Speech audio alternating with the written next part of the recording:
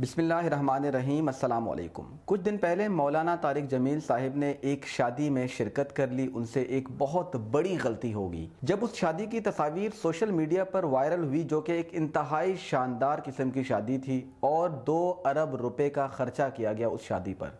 उस शादी में पाकिस्तान के बड़े बड़े सियासतदान, पाकिस्तान के तमाम बड़े स्पोर्ट्समैन शोबिस इंडस्ट्री के लोग सिंगर्स आतिफ असलम, राहत फ़तह अली खान, तमाम लोग मौजूद थे। मौलाना पर इल्ज़ाम लगाया गया शुरू में कि उन्होंने इस शादी में शिरकत के लिए 50 लाख रुपए लिए।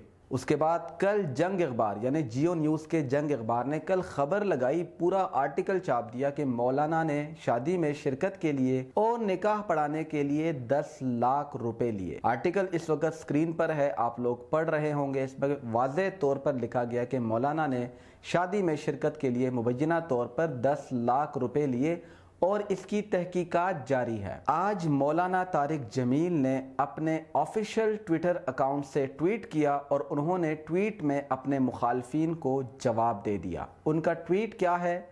आप लोग स्क्रीन पर देखें, मैं पढ़कर सुनाता हूँ। अल्लाह की तोफीक से तबलीग दीन के लिए पिछले 45 बरस से छः बर आज़म फिरा हूँ। एक तवील मुद्दत से नबी सल्लल्लाहु अलैहि वसल्लम की ज़िंदगी के गीत उम्मत को सुना रहा हूँ। हमारी तरक्की में रकावट हमारी इखलाकी पस्ती है। निकाह पढ़ाने पर पैसे लेने का बहतान लगाने वालों की खिदमत में गुजारिश है कि तबलीग दीन के इस तवील सफ़र में अल्लाह की तोफीक से हज़ारों बच्चियों और बच्चों का निकाह अल्लाह की रजा की खातिर पढ़ाया है। शेख महमूद साहिब से मेरी देरीना दोस्ती है। उनकी दावत पर बेटी का निकाह पढ़ाने पर कैसे पैसे ले सकता हूँ? अल्लाह हम सबको बदगुमानी और इल्ज़ाम तराशी से महफूज रखे। तो ये मौलाना साहब ने तरतीब तरदीद कर दी जो उनके ऊपर इल्ज़ाम लग रहे थे। कल जंग अखबार ने खबर लगाई पाकिस्तान के तमाम वो मीडिया के सहाफ़ी जो जंग अखबार से या जियो न्यूज़ से ताल्लुक़ रखते हैं। इसके अलावा जो अपने आप को लिबरल समझते हैं इलीट क्लास समझते हैं जो समझते हैं कि पाकिस्तान के अंदर हमें वो पाकिस्तान चाहिए जो सिर्फ़ हम चाहते हैं,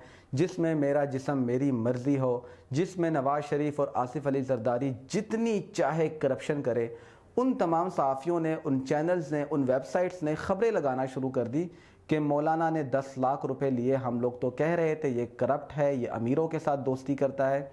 तो आज मौलाना मजबूर हुए और उन्होंने बिलाखिर ट्वीट करके बता दिया कि भाई मैं हज़ारों बच्चियों के, बच्चों के निकाह पढ़ा सका, पढ़ा चुका हूँ और ये अल्लाह की रज़ा की खातिर मुफ़्त में पढ़ा चुका हूँ।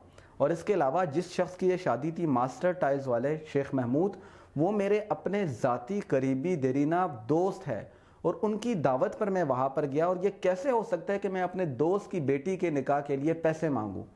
ये तो कोई आम इंसान भी हो, आम मौलवी भी हो, अगर उसकी दोस्त की बेटी का निकाह हो तो वो नहीं मांगेगा। ये तो एक लैंडलॉर्ड बंदे हैं, बहुत अमीर इंसान है, अल्लाह ने इनको बहुत दौलत दी हुई है। लेकिन हम लोगों का मसला क्या है कि मौलाना तारिक जमील, उनका लाइफ और उनसे बहुत लोग इंस्पायर होते हैं। और वो बाज़ अवकात सच बोल देते हैं। वो ऐसा सच होता है कि जो कि मुखालफी को बहुत बुरा लगता है। हालाँकि वो अपना मुखालिफ बनाते ही नहीं है, वो तो झुकने वाले इंसान है, वो तो माफ़ी मांगते हैं। आप लोग को पता ही होगा कि कुछ अर्सा पहले वजी अजम की एक थेल्टोन चल रही थी तो उस दौरान मौलाना तारिक जमील साहब के मुँह से एक बात निकल गई। उन्होंने कहा कि पाकिस्तान का मीडिया झूठ बोलता है, जो कि हकीकत है, मैं इसका गवाह हूँ। और उन्होंने ये इल्ज़ाम लगाया, उन्होंने ये बात की कि एक टीवी चैनल के मालिक ने मुझे कहा कि मेरा कारोबार नहीं चल सकता अगर मैं झूठ बोलना शुरू कर दूँ। तो पाकिस्तान के तमाम कुत्ते एंकर्स मौलाना के पीछे मुँह खोलकर भोंकना शुरू कर दिया उन्होंने कि जनाब हमें उस एंकर का नाम बताए, उस चैनल का नाम बताए, उसके मालिक का नाम बताए, ऐसा करे तो वैसा करे। तो एक जंग शुरू होगी और तीन से चार दिन मीडिया जो है ये डोल पीटता रहा। बिल आखिर मौलाना साहिब मीडिया पर आए और उन्होंने कहा कि भाई, मुझसे गलती होगी, मुझे माफ़ कर दो, मैंने गलत बोला। हालाँकि मैं उस चीज़ की मजम्मत करता हूँ। उस टाइम मौलाना के साथ पूरी कौम खड़ी थी। तमाम जो ईमानदार एंकर्स है, ईमानदार सहाफ़ी ईमानदार यूट्यूबर्स हैं सोशल मीडिया उनके साथ था क्योंकि अब तो मीडिया की कोई वैल्यू कोई औकात है ही नहीं इनको कोई सुनता ही नहीं कोई मुँह नहीं लगाता क्योंकि सबको पता है कि ये नवाज़ शरीफ और जरदारी के पिट्टू है। बस यही इन लोगों का काम है आना बकवास करना और चले जाना। शाम को सात बजे से लेकर रात बारह बजे तक ये भोंगते हैं और भोंगने के बाद चले जाते हैं।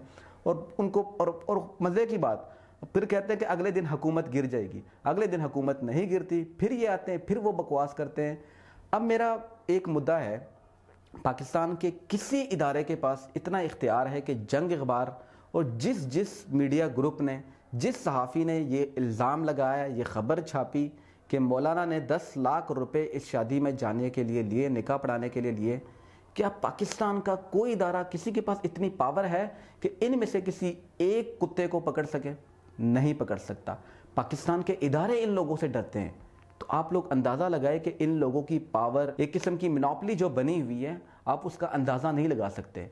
इन लोगों ने वाकई हुकूमतें गिराई है, हुकूमतें बनाई हैं। इन लोगों ने वाकई करप्शन के चार्जेस सियासतदानों पे लगाए हैं। कभी ये नवाज़ शरीफ के हक में, कभी जरदारी के हक में होते थे, आज सब दोनों ये सब लोग एक हो गए। सिर्फ़ और सिर्फ़ क्या है कि करप्शन बचानी है।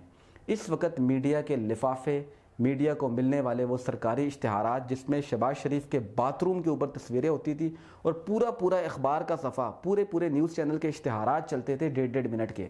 वो इश्तहार इनके ऊपर इस हकूमत ने बंद कर दिए, क्योंकि हुकूमत कह रही, हमारे ख़जाने खाली है, हमारे पास पैसे नहीं है, हमारी मीशत अच्छी नहीं है, हमने तालीम बेहतर करनी, हमने हेल्थ सिस्टम बेहतर करना है, हमने अपनी सड़कें बेहतर करनी, हमने अपने नौजवानों को नौकरियाँ देनी है, हमारे पास और बहुत सारे प्रोजेक्ट है, उस पर हमने काम करना है। तुम कौन होते, हम तुम्हें पैसे दें? और फिर तुम हमारी तारीफ़ें करो। आज वज़ी अजम इमरान खान ऐलान कर दे या मौलाना तारिक जमील साहिब ऐलान कर दे कि मैं इनको इश्तहार देता हूँ कि मेरे बारे में ये इश्तहार चला है हमारा ये प्रोजेक्ट है। फिर मैं देखता हूँ ये मीडिया, ये एंकर, ये जितने जो बने हुए ना, आज़ाद ख्याल और रोशन ख्याल और ये लिबरल, ये किस तरह कौन कौन ज़बान खुलता है? मलिक रियाज के ख़िलाफ़ इनके एक, हालाँकि कितने उसके स्कैंडल है, कितने करप्शन के केसेस है, फिर उनकी बेटियों का मामला हुआ। एक दो चैनल्स के अलावा किसी लिबरल ने, किसी इनमें से किसी कुत्ते ने कोई कोशिश की, कोई मेहनत की, नाम तक नहीं लिया। डरते हैं ये लोग मलिक रियाज से। क्यों? क्योंकि वो इनको पैसा खिलाता है। तो इन लोगों की औकात सिर्फ़ पैसा है। मौलाना तारिक जमील साहब ने इनको एक रुपया भी नहीं दिया, सिर्फ़ एक ट्वीट किया जो कि इनके मुँह पर पड़ा है। मेरे ओपिनियन से मेरे ये तबसरे से अगर आप लोग आ, किसी किस्म का भी कोई इख्तलाफ रखते हैं या आप कहते हैं कि मैं ठीक कह रहा हूँ जो भी आप लोगों की राय है कमेंट सेक्शन में ज़रूर बताइएगा। चैनल को सब्सक्राइब करें नोटिफिकेशन के आइकन पर क्लिक करें ताकि हमारी हर नई आने वाली वीडियो आपको मिलती रहे। हम ऐसे करप्ट और चोर मीडिया को अक्सर बेनकाब करते रहते हैं।